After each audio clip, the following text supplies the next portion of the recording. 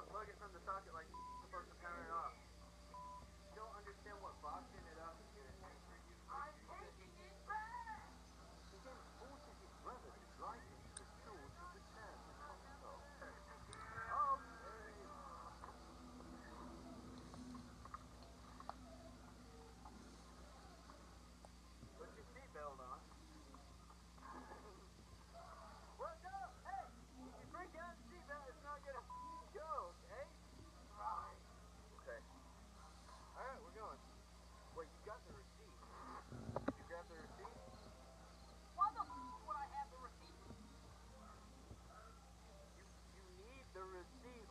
not going to take it back.